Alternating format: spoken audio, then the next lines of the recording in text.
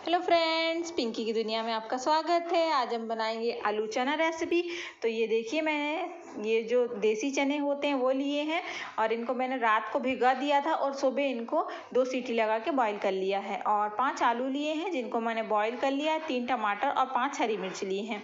हरी मिर्च को आप कम या ज़्यादा कर सकते हैं अपने टेस्ट के अकॉर्डिंग और इसमें डालने के लिए और क्या क्या चाहिए, वो मैं आपको बताती हूँ। और चने जो हैं, मैंने देखिए, इस तरीके से बॉईल कर लिए हैं कि आराम से टूट जाएँ, ना कि ज़्यादा घुलें। देखिए, इस तरीके से दबाने पर आराम से पिछक जाएँ, इस तरीके से इनको मैंने बॉईल कर लिया है। और इसमें डालने के लिए अब हमको चाहिए ये लहसुन, प्याज और अदरक का पेस्ट है।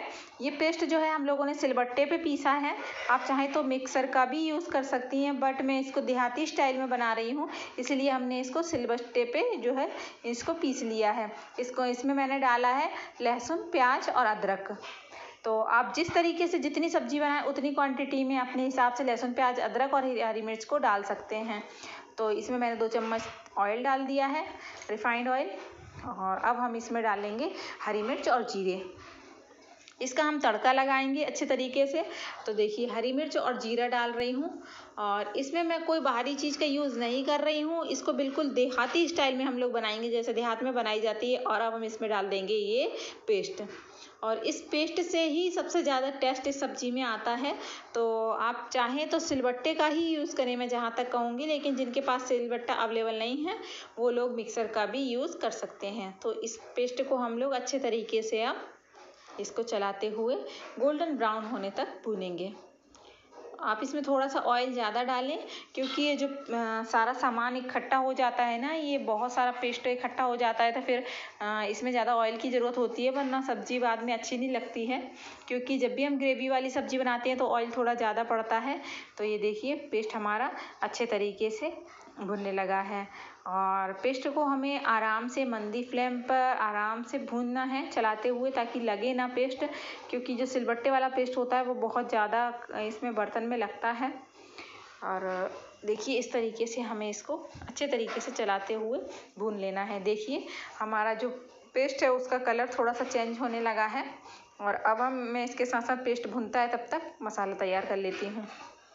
तो ये देखिए, मसाले में मैंने गरम मसाला लिया है, लाल मिर्च, हल्दी पाउडर, धनिया पाउडर और ये मिक्स मसाला है। तो मैं इसमें अपने टेस्ट के अकॉर्डिंग एक चम्मच लाल मिर्च डालूँगी और दो चम्मच जो है धनिया पाउडर। तो ये दो चम्मच मैं धनिया पाउडर डाल लेती हूँ और आधा चम्मच जो है मैं इसमें हल्दी ऐड करूँगी। और गरम मसाला भी मैं इसमें अभी डाल दूँगी। इस पेस्ट को जो है हमको, ये जो मसाला मैंने बनाया है, इसका हमें पेस्ट बनाना है। तो इसमें अब हम लोग पानी डाल देंगे। और पानी डालने के बाद ही मैं इसमें डाल दूँगी नमक। क्योंकि आलू की सब्ज़ी जो होती है, इसमें मसाला, नमक हम लोग पहले डालते हैं ना तो बहुत अच्छा टेस्ट आता है, इसलिए मैं अब इसमें नमक डाल दूँगी।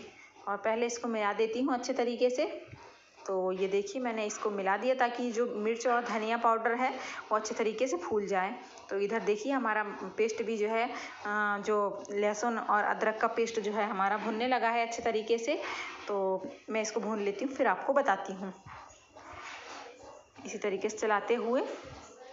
तो ये देखिए, पेस्ट हमारा अच्छे तरीके से एकदम गोल्डन रंग का हो गया है।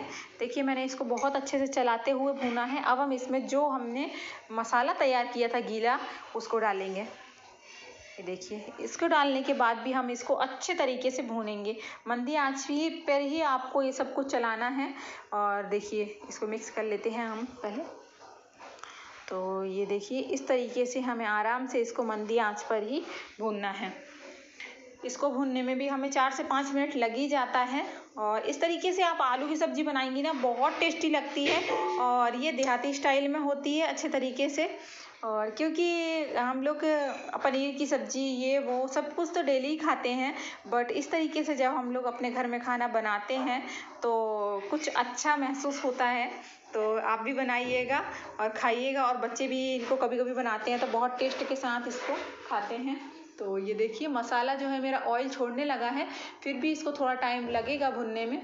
तो ये देखिए, अच्छे तरीके से मैं इसको चलाते हुए भून लेती हूँ। और अगर आपको मेरी रेसिपी अच्छी लगी हो तो लाइक शेयर और कमेंट करें, मेरे चैनल को सब्सक्राइब करें। और ये देखिए, मसाला मेरा अच्छे तरीके से भुन गया है। इसने अच्छे तरीके से ऑयल छोड़ दिया है, देखिए। आप ये मसाले को देखने का एक यही तरीका है कि जब मसाला ऑयल छोड़ दे मतलब मसाला अच्छे तरीके से भुन गया है। अब हम इसमें डालेंगे जो तीन टमाटर हमने लिए थे, उनको मैंने कट कर लिया है। अब हम इसमें इनको डालेंगे और इनको भी अच्छे से मिलने तक इसमें चलाएँगे। तो ये देखिए, टमाटर भी मेरे अच्छे तरीके से इसमें मिक्स हो गए हैं। एकदम अच्छे से पक गए हैं टमाटर भी मेरे। अब हम इसमें अच्छे से इसको चलाती हूँ मैं। और अच्छे से बहुत देर तक चलाते हुए मैंने इसको पकाया है बिल्कुल आराम से और लो फ्लेम पर ही मैंने इसको पकाया है।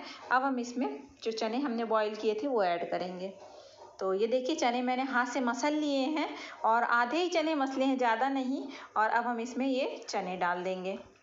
और इसके बाद जो आलू हमने लिए थे, उनको मैंने ऐसे करके मसल लिया है। ज़्यादा दो चार चार पार्ट में ही तोड़ा है, ज़्यादा बारीक नहीं किया है, क्योंकि जब भी हम पतीले में चलाते हैं ना उसको तो फिर वो आलू वैसे भी टूट जाते हैं। तो इस तरीके से हम ज़्यादा तेज़ ना चलाते हुए आराम से इनको मिक्स करेंगे। देखिए, सब्ज़ी हमारी कितनी लाजवाब अभी से लगने लगी है। ये देखिए। तो इस स्टाइल से आप सब्ज़ी बनाएँगे ना, बहुत अच्छी लगती है।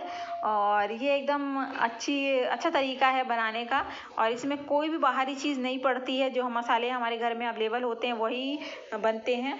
और इसको अच्छे तरीके से हम हम आराम से मंदी आँच में ही इसको ढक करके पाँच मिनट के लिए पकाएँगे। तो मैं ढक देती हूँ और पाँच मिनट बाद देखती हूँ। तो ये देखिए, पाँच मिनट मेरा हो गया है और ये देखिए, सब्ज़ी हमारी कितनी अच्छी दिखने लगी है। और सारी चीज़ें जो हैं, मसाले में मिक्स हो गई हैं। और नमक का आप विशेष ध्यान रखें, नमक जो है, आप जब मसाला बनाएँ नमक मिर्च वाला तो उसमें ही डाल दें और अब हम इसमें अपने टेस्ट के अकॉर्डिंग थोड़ा सा पानी ऐड कर देंगे। क्योंकि सब्ज़ी जब हमारी ठंडी हो जाती है ना तो जम जाती है। इसलिए मैं इसमें एक कटोरी के करीब पानी ऐड करूँगी। तो ये देखिए, मैंने एक कटोरी के करीब ही पानी डाला है। ज़्यादा पानी नहीं डाला है और इसको अब हम लोग आराम से ढक करके पकाएँगे। क्योंकि आप आलू की सब्ज़ी में विशेष ध्यान रखें कि जब भी आपको हल्की ग्रेवी वाली बनानी है तो उसमें थोड़ा सा पानी ऐड करना पड़ता है हमें, वरना जो आलू की सब्ज़ी है, फिर ठंडी होने के बाद में जम जाती है। और ये देखिए, पाँच मिनट ढकने के बाद में मैंने इसको हटा लिया है। और देखिए, सब्ज़ी हमारी कितनी टेस्टी और लाजवाब लग रही है, बहुत अच्छी लग रही है। और आप इसको बनाइएगा और मुझे कमेंट करके बताइएगा कि ये सब्ज़ी कैसी लगी आपको। और ये चने की सब्ज़ी तो वैसे भी बहुत अच्छी लगती है और इसको हमारे यहाँ कई तरीके से बनाया जाता है। आप इस तरीके को देखिएगा और इन्जॉय कीजिएगा। और देखिए, ये देखिए मैंने सर्व करने के लिए निकाल ली है और देखिए कितनी अच्छी लग रही है हमारी सब्ज़ी। बिल्कुल बन करके तैयार है। आप इसको पूड़ी, पराठे, आलू किसी भी चीज़ के साथ धनिए से गार्निश करके खा सकते हैं। और आज के लिए इतना ही। Thank you.